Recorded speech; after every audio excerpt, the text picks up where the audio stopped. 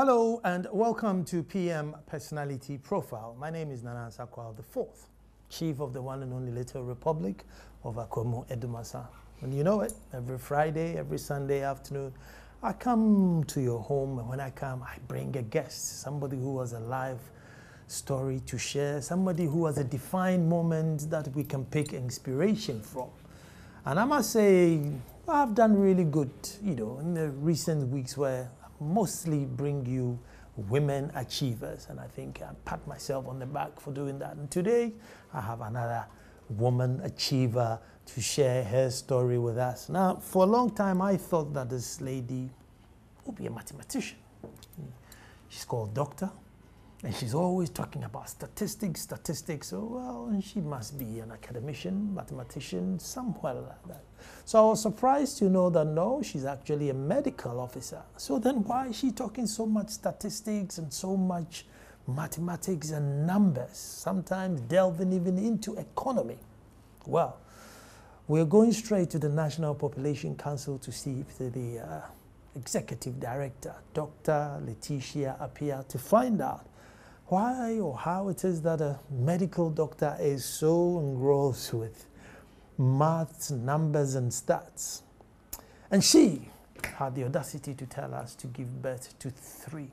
Three, can you imagine? When God has asked us to populate the world as much as the seashore, she said, no. Three is the ideal number. Somewhere in the interview, I'll try and find out why she came up with this magic three. Some agree, some have disputed, but hey, we have her to speak to it herself. My name again, Nana Sakwa. When I come back, talking to Dr. Leticia Appiah. Don't go away.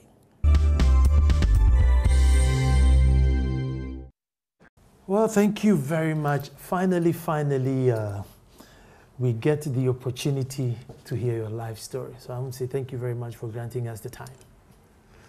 Thanks for having me. I'm going to go straight to Jasikan, all the way to Jasikan. Okay. And uh, did you did you grow up in Jasikan? No, no, no, I was actually born in Jasikan, but I didn't grow up. Well, I stayed in Jasikan when I was small because that's where I was born. Uh, my dad was a paramount chief in Tapa Abotoase, Okay. a very big family. Princess Leticia. There's so many of us, the children, we are about 40 for my dad, 14 or 40? 40, 40. 40. This, this number will become very significant later later in the interview. Yes, that's, that's a big, a big, a big family. And my mom, it's a, a teacher. She's, Okay. Yeah, she was a teacher. She's on retirement now. Yeah, so I was born in Jasikan and, and we came to Great Accra, Newtown, and that's where I actually grew up. That's where I remember, Newtown. Growing up in Newtown. Share, let's, let's, let's share some of the stories in, uh, in, in Newtown. What was growing up in Newtown like? Well, growing up in Newtown, I attended ANT1 primary school, and I went to class one. My teacher, Mrs. George, yes, Mrs. George, and uh, I am a left. I'm left-handed, and Mhm. Mrs. George couldn't take that writing with your left, so beating every day. Oh And dear. yes, one day I came home. My mom was getting us ready for school, and I said, "I'm done with school. I'm not going to school anymore." So she asked why. I said, Well, I write with my left, and the teacher doesn't want me to do that. She keeps beating me for whatever reason. My mom took me straight to the head teacher's place and told her that just leave her to write with her left because I, my mom, is also left handed. Okay. But then she was beaten to pulp, so she changed. So she writes with her right, but that's everything else with the left. So like chopping and stuff. Chopping everything, eating, cooking, everything with her left, just Right writes with with the right. Yes. I, I don't know. why. I, I wonder how many children have suffered this left to right thing. Because, like you're saying, you, you decided, look, I'm not going to go to school again. Yes, Nana, I think it's a big thing we really need to look at because Nana, I have three girls and two of them are left-handed. Wow. Yes, my mom was left-handed, I'm left-handed, and I have three girls and two are left-handed. But we really need to look at that because I don't know how many people, because of that, fell off. I was Mm. lucky to have a mom who noticed and took me to school, you know, and impressed on my teacher to let me stay. And I think for me, it's a very big defining moment for me. And because of that, growing up, you feel there's something wrong with you. Why is everybody writing with the right and you're writing with your left? And I happened to be tall too, and not my friends are short. So I said, Why am I so tall and writing with my left hand? What did I do to God to merit this? You know. So the odd one out. The odd one out. The odd one out, Nana. And it's not comfortable. Hmm. You know, human beings want to belong. Mm -hmm. So when you are odd at that age and society is also not appreciating, then you tend to lose self-confidence. You know, you tend to lose some confidence in yourself. But for me, I was privileged to go outside the country, and that is when I said, "Oh, okay." So it doesn't really. Uh, I'm not uh, odd after all. You know, I'm probably just unique. the American president. Uh, left-handed. Being left-handed. Yes. And there you are, you be allowed to be a class prefect. No, not a class prefect. let alone a, chief or a, or a commander. so after, after you know you were allowed to you know write with your left, you sail school through normally with your with your left hand. Yes, I sail normally with my left-handed left-handedness. I think learning came very easy to me. You mm. know, yes, learning comes very easy to me. And I'm an introvert too. A lot of people think I'm an extrovert. No, but naturally I'm an introvert. You know, so I just do what I, I know how to do best. And I was never interested in study groups because they always took me back somehow. You know, I always felt that I was always teaching. You know, I wasn't being taught. I was always teaching. I ended up teaching all the time. So I studied alone. I moved faster that way. So I finished uh, ANT 1. I went to ANT 1 primary in uh, Accra New Town, Accra New Town 1 primary. And then my father actually uh, took me to St. John's when I was in class 6. So I went to St. John's and spent a year there, had my common entrance, passed very well, and uh, went to Ola Secondary School. You know, I told you my father was a chief, mm -hmm. so he was part of the Volta Regional House of Chiefs. So he had a lot of influence in the Volta region. so his, his children went to uh, Kadjebi Asato Secondary School, and I went to, to Ola Secondary School. Okay. Yeah. So your, your, your, boys were Bishop Herman, right? Yes, Bishop Herman. In fact, I had a boy who I don't even know, I didn't even know who he was. But, but was in Bishop Herman. But he was in Bishop Herman. yes. Bishop Herman boys had a reputation, when, yes. know, when we were growing up, uh, they had a reputation yes. of being hard boys. Then from Ola, you came to Achimota. Yes, from Ola, I came to Achimota. Let me tell you something that happened in Ola. You know, I'm tall, and uh, I was in a Cecilia House, yes, in Cecilia House, and we always had this inter-house competition, mm -hmm. you know, and people yeah. were going to train for the sports, and I said, no, I'm so tall, my reach is very, you know, so I don't need to train, you know, I can just get onto the track and win the race. That's what I thought. If and you, I got on if track. Take, if you take one step, do you have to take three. You have to take three. So I was calculating. You see, everything is maths, including sports, but I didn't work there. So I was calculating and not bothering myself with uh, uh, practicing in anything. And I got on track. I couldn't go 100 meters and I was dying. So, so I just had to veer off. And then I concluded since then that practice is everything. Mm. That if you have to excel, you have to invest time, energy into it in practice. It doesn't come. It doesn't come easily. Easily. Whether your legs were long. Whether your legs were long. In fact, the one who, who won had the shorted legs. and then she, she practiced. And she actually went on to uh, represent the region very okay. athletic. Yes. Okay. She was short, and I was comparing myself to her. That, that was this short thing. This short thing, no problem. Did you do well in maths in school? No, no, maths is my best subject. I think maths is the easiest subject. And I think life is about maths. And I think many of our viewers would so and disagree I think God you. is a mathematician. Everything mm. is maths. Medicine is maths. Now, your BP has figures. Mm.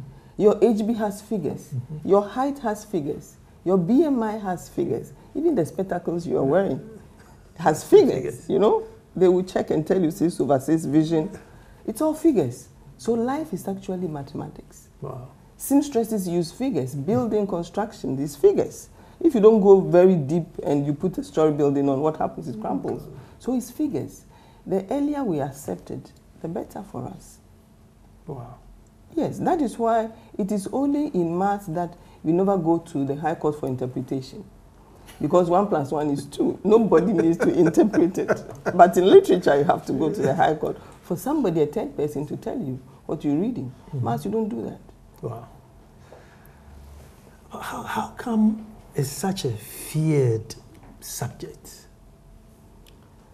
Well, maybe because we have not really taken time to look at it. No, no, everything is maths. The food you eat is maths. You go to the nutritionist and they tell you take three square meals a day, this volume, this amount, That calories and that calories. The doctor will tell you sleep eight hours a day. It's maths. You have a baby, you take the baby to weighing, and they are checking the weight, matching against the standard. Everything is maths. The standards are maths. Wow. you know, if we look at it that way, can you imagine you going to a seamstress and the person using any measurements for clothes for you? It's maths. They check your waist, your bust, and your hip, and that is mathematics. I see. So life is really mathematics. So you, you, you enjoyed I. I love maths because it's undisputable. If Wow. the facts are facts, you cannot dispute the facts. From Achimota, you traveled outside or you did university here? Yes, so I went to Ola six. I mean, from one to five, I sat for the common entrance. I excelled, so I moved from Achimota. I mean, from Ola to Achimota School for my sixth form. You know, people were moving other side, but I was moving against the tide. You know, you know, people always move from Achimota to out, but I was moving into Achimota. You know, I started from Newtown to Ola and then to Achimota. I think life is a forward march So you're going up in the world. going up, you know, there should always be an improvement. When you retrogress, then it's not the best. You know. But I mean, growing up in uh, Newtown, how many siblings were you then? Well, my mommy had uh, two other girls, Two other girls. so I have two siblings, Two three of us, yes. But my daddy, well, a And lot. that yes, a whole define, two- define two everything three- that you stand for. yes, two or three football teams and some reserves. But you had to like sell and you know work hard for your survival. Yes, it was not that. It wasn't easy because my mommy, a teacher, how much do you earn? You know, so we had to sell bread. We had to sell uh, oil. We had to sell everything and anything. You know, and I had to walk from Newtown. We actually lived opposite the Mallam Atta market, so I had to walk from Newtown to Accra Central, sold in front of the uh, fire service. You know, and walk back home to support. And at that age, I mean, because all this time you're doing well in school, did you still have it in that look? I need to study hard and get out of this, or it came to you naturally? Nana, that age, I still knew that was the only way out because there was So this so was about 14, yes, 16. 14, 16, yes, around that. I knew that was the, I just felt that that was the only way out because I told you my father had so many of us and uh, he was probably concentrating more on the boys than on the girls because as for girls, they will marry off and all Mhm. those things, you know, not much investment in them. So I just felt that that was the only way out.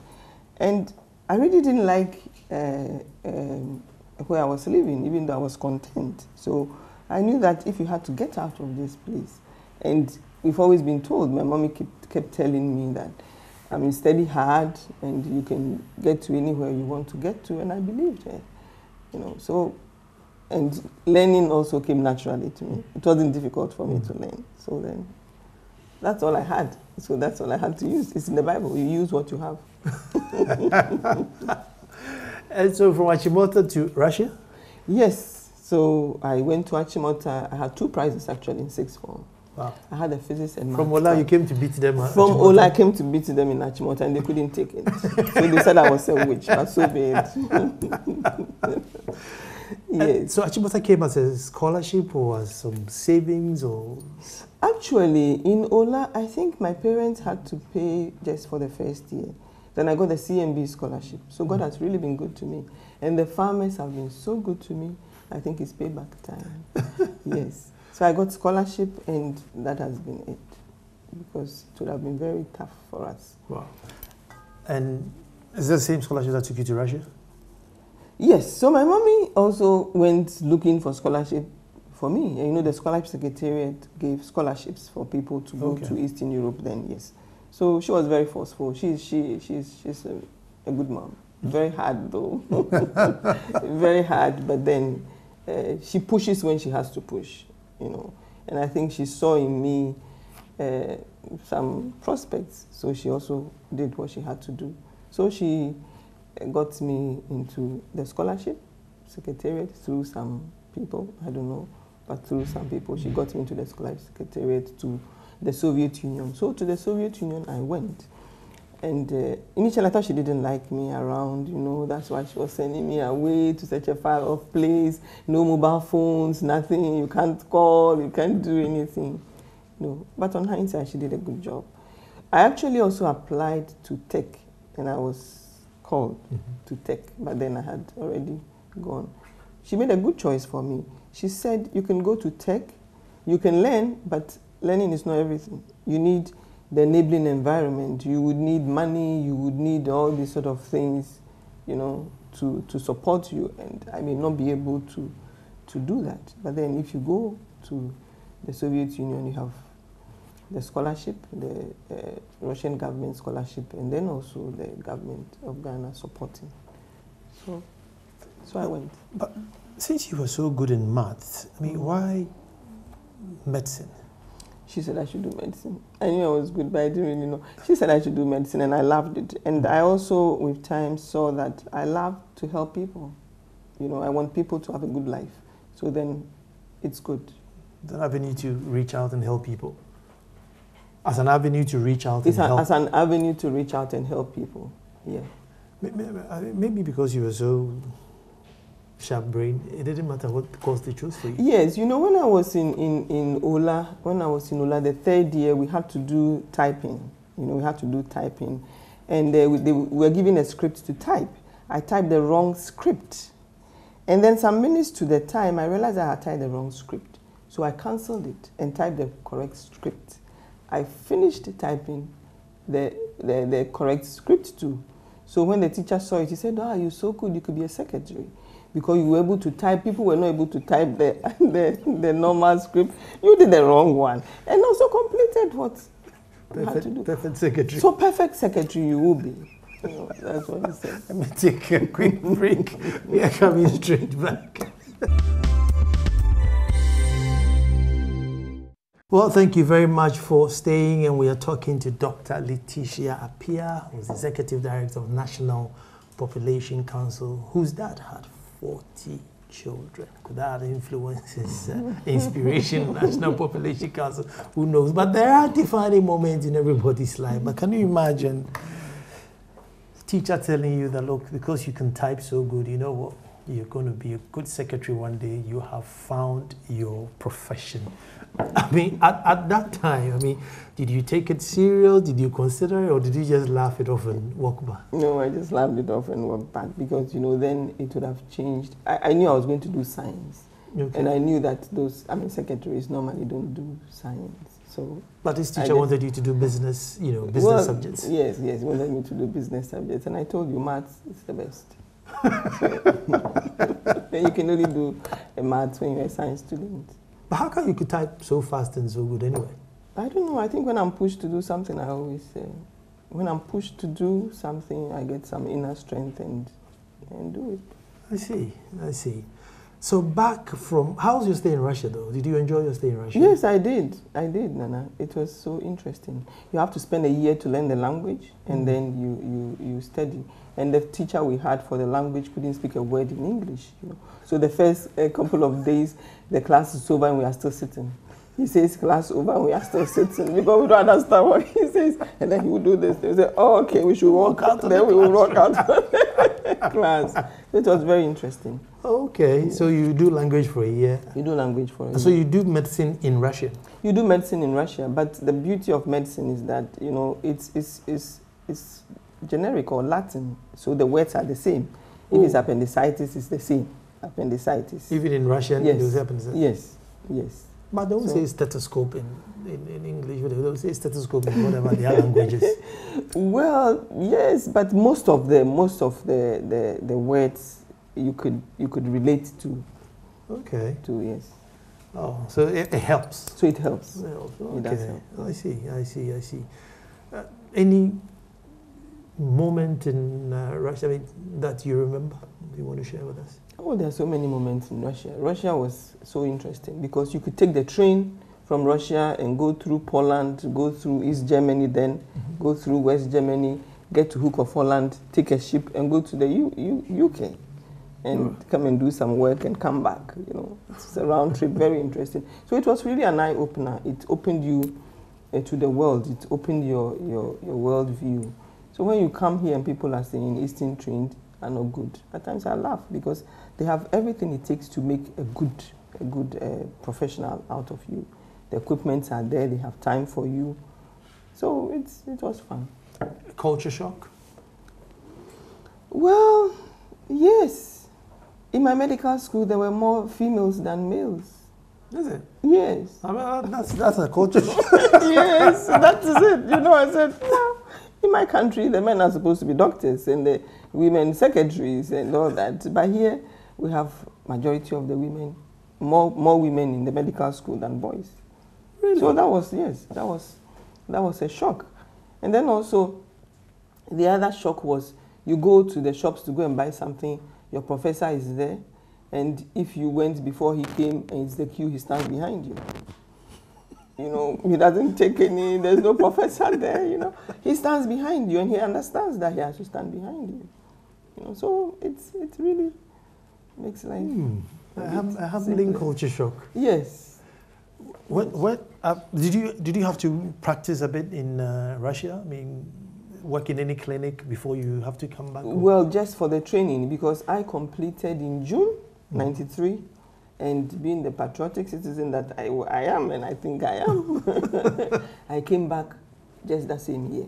okay. I came back the same, the very year I completed, because I thought that the farmers, as I said, the scholarship I got, Hmm. the Cocoa Board scholarship and all that, I thought they have invested in me, and I needed to come back Hmm. and pay back, pay back time. So I came and I haven't gone back. No. Yes. I just wanted to find out how patients in Russia were compared to patients in Korle Bu when you came back. That was another shock. You know, I stayed in uh, Russia for, for seven years, and the, the best place for me was the maternity ward. Because till date, Nana, for me, the birth of a child is, is, is, is still a mystery. Hmm. you know, and it's I think it's it's so divine. So that was a place I really enjoyed working in the maternity ward, seeing babies being born. Mm. And the issue is that Nana, when babies were born in Russia, the parents, uh, the relatives come to pick this baby with flowers and kisses and everything, and it was so beautiful. So I wanted to be a part of that. So I came to Ghana, wanting to be a gynecologist, so that I could welcome in babies, loved those who people who love them. Mm. I came to Korle Bu and it was a total different ball game. Babies were born and couldn't care less about them. Sleep on the floor. Some of them crawled on the ward because their parents would not come and discharge them. Mm. Totally unwanted. Then afterwards maltreated. So I'm asking myself, if we don't want them, why do we have them? It's true. I mean, I like, think I don't think God is excited with us. Look at it's near Christmas. Mm. Look at the preparations the heavens are making, the earth is making to receive His Son. And we usher in children and we maltreat them, we rape them, we defy them, we beat them. They take monies for, I mean, they put their hands in soup because they are hungry and we bend their hands. And then we get up every Sunday and go to church. It doesn't fit. It really doesn't fit. I mean, going back to you know uh, babies born in the Western world, you just drew my attention. You know, it's a boy, it's a yeah, girl with their beautiful. balloons, and Balloons. flowers, And this and grandmother will come. is sleeping beautiful and you know that you are welcomed. You know that you are loved. You know, and then you see they bring them for weighing and you see that the baby is nice and plumpy and laughing and everybody kissing the baby. But in here, the baby comes for weighing and the baby is emaciated and the baby is not nobody cares for that baby. You know, the baby two years is not working because it's malnourished and then the woman is pregnant again. So is it purposeful giving birth or we just doing anything? You know, are we thinking through it? So that that was another shock for you. you That know. was a big shock. I have not gotten over that shock. I really haven't gotten over Wow. that shock because I put myself in the shoes of those people. It could have been you, it could have been anybody. What if you've had a mother who's treating you that way? You know, it's just by His grace that I had a mom who didn't treat me that way. So it doesn't make me any special. Mm. But why should these children go through that? I don't think it's, it's, it's right. We are abusing their human rights. The fact that they can't talk does not mean that they don't have any. And you did 10 years in Korle Bu. Yes, I did 10 years in Korle Bu.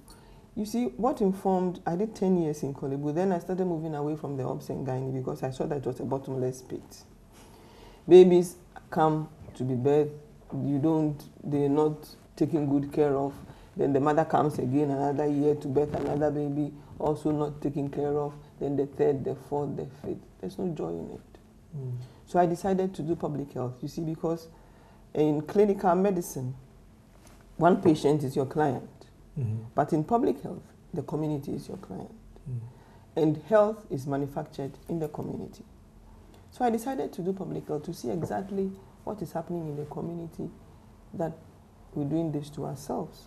So I went to the School of Public Health in Legon. Wonderful teachers there. I did public health. I came back and I said, okay, you know, we have Korle and Ghana Health Service. So I decided to move from Korle to Ghana Health Service. And I had a lot of advisors in Korle Bu who, for good reasons, advised me against moving to Ghana Health Service. And they said, you know, Korle Bu is the teaching hospital and everything. I said, well, I still want to go to Ghana Health Service. So to Ghana Health Service, I went. And I was posted to Achimota Hospital. Mhm. And because uh, the way I left Korle Bu, Dr. Annan, he's my good friend, though, but he didn't want me to go to left. So he said, okay, then you're leaving my bungalow. I said, no problem. So they ejected me from and I went to Achimota. So I stayed in Achimota for a while and then um, worked in other places. And in 2008, when we had new districts being formed, I was posted to the Ledzokuku-Krowor, that is Lekma Okay. to, to head the place. So we I headed LEKMA, and since inception, the inception was in 2008. So I Mhm. headed LEKMA, LEKMA to 2016 when I was appointed as the executive director for the National Population Council. I mean, uh, community health. Uh, did you find it more refreshing or was more heartbreak? You see, for medical uh, for medical services, it's a continuum of care. Mm. curative, preventive link up. Prevention first.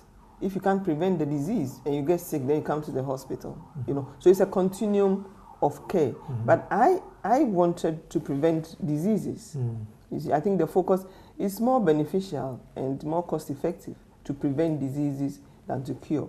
So the more people you can you can support to stay healthy, the less people will get sick, and the more productive the countries are anyway. Mm. You know, and public health looks at the community as one. Public health is about immunizations. Public health is about sanitation. Public health is about water supply. You know, public health is about the air you breathe. So making sure that people are healthy, making sure that people have what it takes to take care of other human beings. Mm. Public health is about family planning. Planning your family is public health. Because if you plan your family very well and they are healthy, well nourished, sleep well, have leisure time, they fall sick less often. Mm. And so then you relieve the clinical staff of work. And when you relieve clinical staff of work, what happens is that you improve quality of care.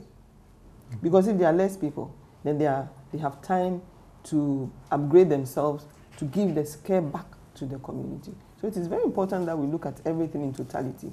We need to have the bird's eye view, and that's what public health does. It looks at the bird's, the bird's eye view, not just sitting in the clinic. People have diarrhea, they come, you treat them. They have diarrhea, they come, you treat them. Meanwhile, the water source is the problem. Meanwhile, it's the water source. So which, which is better? Sitting in the clinic and treating diarrhea or fixing the water pipe? But were you surprised at, I don't know whether it's uh, ignorance towards uh, sanitation or just that we didn't care about it? I mean, once you moved, were you surprised about the community? You know, you know, are they not concerned about this or they were not aware of it? I mean, did you have any shocks like that? Well, public health gives you, opens you up.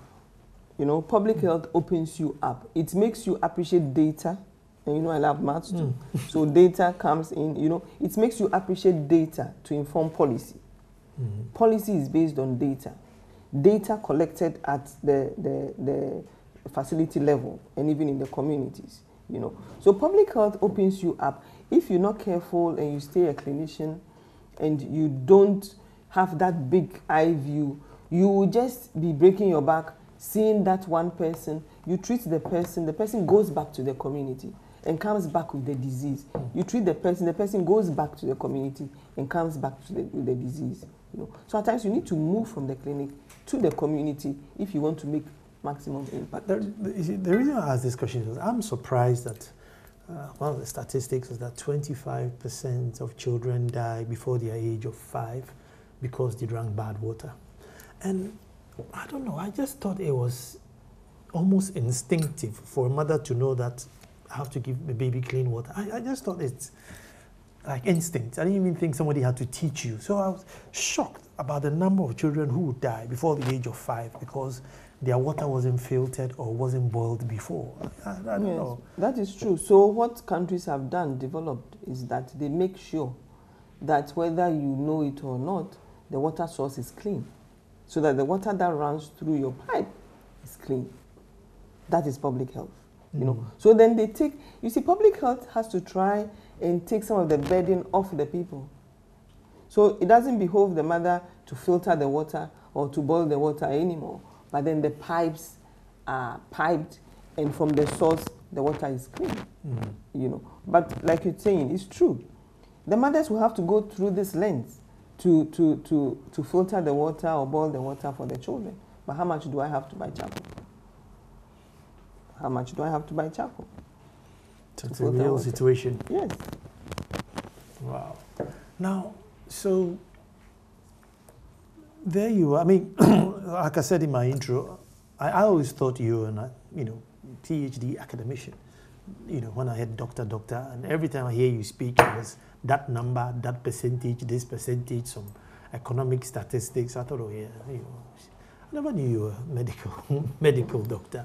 So I'm trying to find out how it is that you moved from the clinic to, you know, championing or crusading population.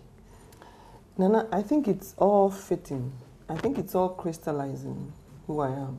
Because medicine, you see, I, I, I see science, you can divide science into two. Mm. You have the arts of science and the science of science.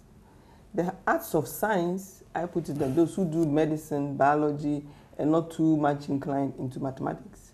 And then the science of science are those who do the core uh, maths, they go into the engineering, the mathematicians who forget to comb their hair and those type of things, you know. so to get the, the I am not editing that. I'm keeping that in there. you know, but to get the bridge, those who would use the, the, the maths and the data to inform policy, for me, I think that's why I fall. Mm. You know, because I love medicine. It's good. And I love the data, and I want the data to tell the story. Mm -hmm. I mm-hmm. want the data to give us the direction. Because data doesn't lie, just like day and night. Day is 12 hours, night is 12 hours. And like I said, God is a mathematician. Because you see, the world is made of 30% water.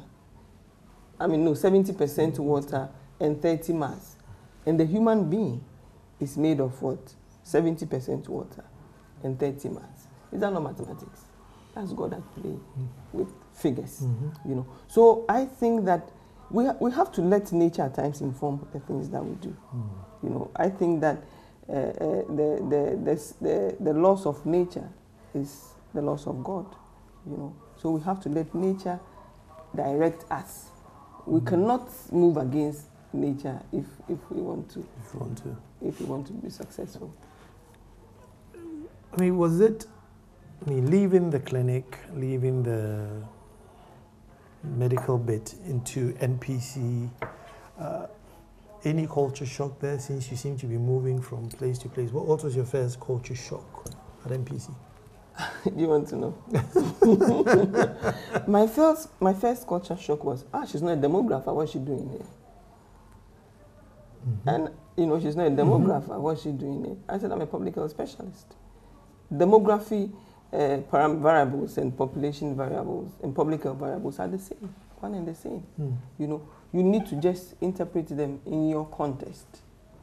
So that was it. I mean, uh, a doctor stays with Ghana Health Service. Mhm. You know, doctors are supposed to either you have Ghana Health Service or you move outside the Ghana Health Service into a different, whether I mean, to another field.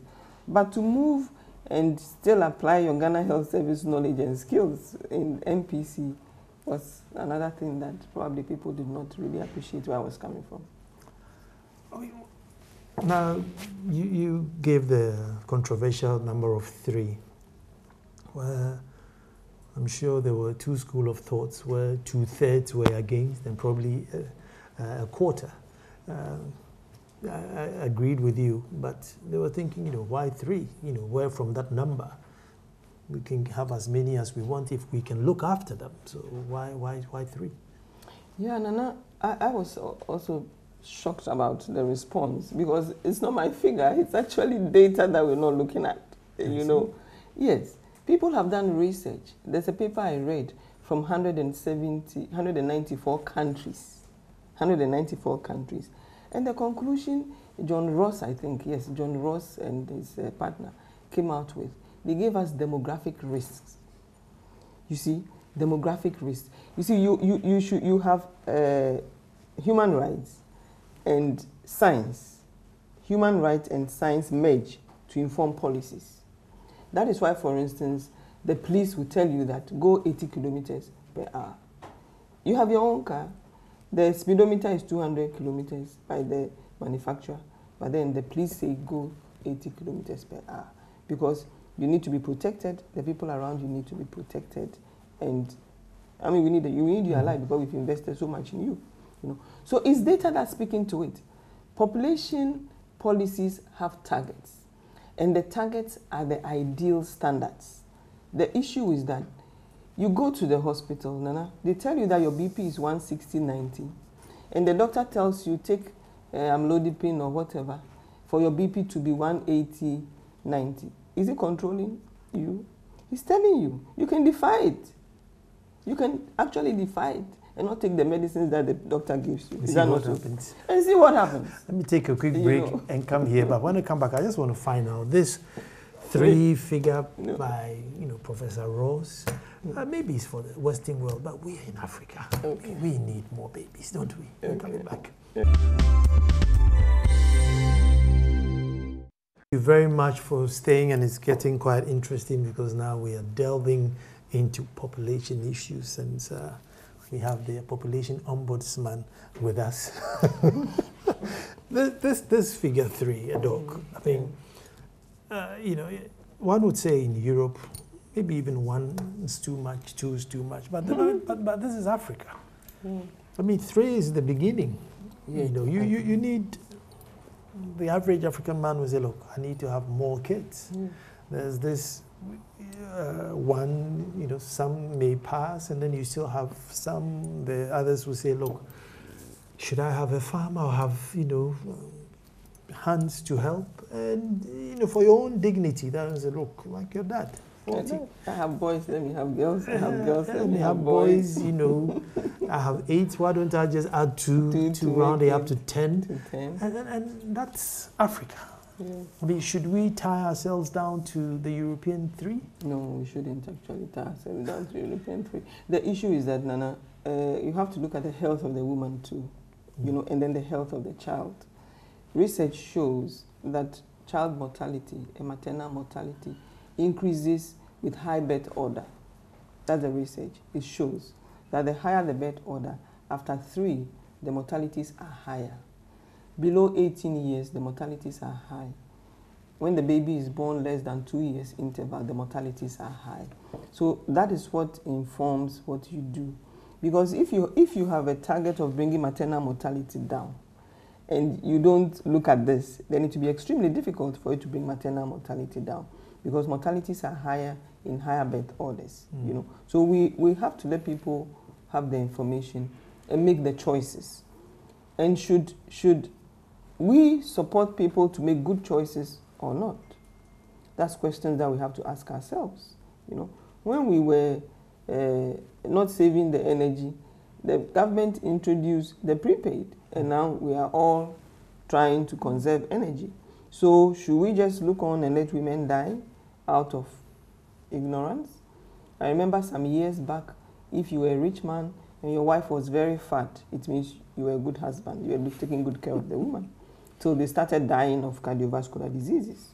Then we started looking at the BMI and now started conforming. So you go to the hospital, you ask the, the doctor, what is my BMI? They tell you you're obese, you're overweight, and then you try to fall in it. There's norms for optimal life, and we need to know. Before you can take a decision, you have to have informed uh, uh, choice. You know, you should, you should have the information to take the decision. You see? Mm -hmm. So it is important that we know that these are the risk factors. The high birth order is a risk factor. The low, I mean, uh, uh, 18 years younger, having kids is a risk factor. Having children, short birth intervals are risk factors. The maternal mortalities have gone down in the Western countries because they have reduced this number of risky births. Mm. It is just like Nana trying to reduce road traffic accidents and you are letting 90 year olds drive without spectacles. You cannot reduce road traffic accidents that way. Neither can you reduce road traffic accidents allowing 14 year olds to drive. You cannot reduce road traffic accident that way. So if you really want to reduce road traffic accidents, you have to disaggregate your data and make sure that people who are at higher risk are discouraged from driving. Mm -hmm. That is how it is. So women or if you are in a condition of higher risk, you are discouraged or encouraged to make a good choice. You know, life is really about choices. Would you rather have two or three children and you stay healthy to look after them? Or you would rather 10 children, you can't look after any of them very well and you can look after yourself very well. Remember that, Nana, we all have 24 hours in a day to do everything. Mm -hmm. Just like the footballers have 90 minutes in a day to score. The boxers have six rounds to prove your, your this thing. You don't have infinite time and energy, you know. So you have to make choices. And that is what the Bible talks about. You have to be prudent in everything that you do. The, the adage of God will provide, how, how, does it factor in here? Because there's some yeah. who, you know, don't have. They don't, they don't have, but they are on their fourth, going on their fifth. Uh, but they strongly believe that you know, God will provide. Nana, I also strongly believe that God provides. But for me, God provides the raw materials. We are in the business of co-creation with God. He provides the raw materials and we make finished product out of it. So God has provided you with a human being and you have to make capital out of that human being. That is God providing because you can never create a human being. Mm. No matter how hard you try. So that is God providing. But God provides the raw materials. He gives you the oil in the belly of the, of the, of the, of the soil. And then you use your wisdom to unearth it. He gives us the universe. And you use your wisdom to take robots to the skies. So that is God providing. We couldn't make the oil by ourselves. We couldn't make the human beings by ourselves. We couldn't make the air by ourselves. So He has provided, and we co create with Him. So that is the provision. It is not that. So God is not going to give you petrol. God is not going to give you petrol. God will give you the crude. the crude, and you make petrol out of it. God will give you the human being, and you make the human capital out of it. So God has provided. So it's not just making the, the human being and, and not making capital. That is not how God said we should interpret His words. I think I think that that's very defining. I think that uh, uh, He's a God of raw materials. Yes. You, you, you need to convert it. You need to convert it. That is wow. why we are co-creating with God. That's the power He gave us. Mm. That is why the dogs are not co-creating anything. The cats are not co-creating anything. But the cats are reproducing. So if it is death giving birth, then probably the fish are doing a better job than us. Mm. Because they can do plenty in an hour. We can't catch up with mm. them. You know. So God providing and God uh, giving us is the co-creation power that God has given us turning the raw material he's given us into finished products for our use. What is it that makes us so afraid to talk about fertility issues uh, you know, you have interview, you know, big personalities, and off camera, they will agree with you that yeah, population is growing, we have to slow down. But on camera, they, they don't want to. I mean, uh, you you are in there. You've you know gone around talking about fertility. Why, why is it so sensitive? Why are we scared to approach it head on? Well, I think that is how change begins. Initially, we were scared to talk about education. We were scared to talk about HIV. So we are now comfortable with. So we just have to stay at it, and we'll probably uh, be able to talk. At. Because the issue is that Nana, the, the, the fact is undisputable. Arguing about it, for me, in my mind, is just delaying the time that you accept it. Because mm. fact is fact. And why is Africa so rich yet so poor? Because we are not in co-creating what God has given us. And it starts with a human being. It's not the numbers, but the quality of human being. You know. And God said, God said, Nana, that every one of us is made in his image and likeness. So every single person, that is why we have to treat people with care, with, with honor, and with dignity, because we all have God in ourselves, you know. So we cannot just take that for granted. Mm. I think he will not be very happy with us, or he is not happy with us, actually. And, and you think we will break that fear and one day family planning will be on everybody's lips where, you know, woman of age will say, look, I have to start my family planning now. Because, you know, no, no, family planning is a survival thing. Why is it that all of us, the whole world, black, white, everybody, has nine months in the mother's womb? And the Chinese are eating, living for 80 years. And Nigeria is living for 54 years or something. And Ghana is 62 years. Life is full of choices. You make good choices. You know, God is a God of abundance. If we obey His, his will, He gives us abundant life. So I don't think that we're littering children with, on the street is God's will. He said His will be done on earth as it is in heaven. I don't think that the street of heaven is littered with children who don't have food to eat. It's littered with children who, who are being maltreated, who are being raped, who are being trafficked. You know, so the earlier we come to the realization, the better. God gave us just one son, telling us that one is good enough because one is still, I am still in that one. So why don't you have the number that you can praise God with, that the people can also grow up and be productive for continuity sake instead of, because I seriously wouldn't want to be on the street. Mm -hmm. if my mommy had left me on the street, I'm sure I would have cursed them. Because you don't have to have me if you can't take care of me. You know, it is not fair, it is not the best thing to do. Yes, I have a right to have children, but the child has a right to live. Your right to reproduction should not compromise my right to life. It shouldn't compromise the rights of other people living in the country. Why are we having uh, uh, barbed wires all over in the country? Because people have not been responsible. Why don't we have barbed wires in homes in the Western countries? You just stand on the door, open the window, and get into your room without any security, no dog, no barbed wires. Hmm, this interview could go on and on and on, but unfortunately, that's what time would allow us. Doc, I want to say thank you very much. I want to urge you on on your crusade on education to bring fertility and family planning on the forefront. Thank you for being a medical doctor and uh, healing people. And uh, to you at home, thank you for tuning in. I want to say thank you so much to uh, Imperial Homes who uh, give us their premises every now and then to do our interviews. And the number is 024 366 2001. 024 366 2001. That's Dante's. They give me my shirts for the show, so give them a call and get yourself a nice shirt. Till I come to you with a different personality it's been wonderful having you. Thank you very much, Doctor. Thank you for having me, Nana.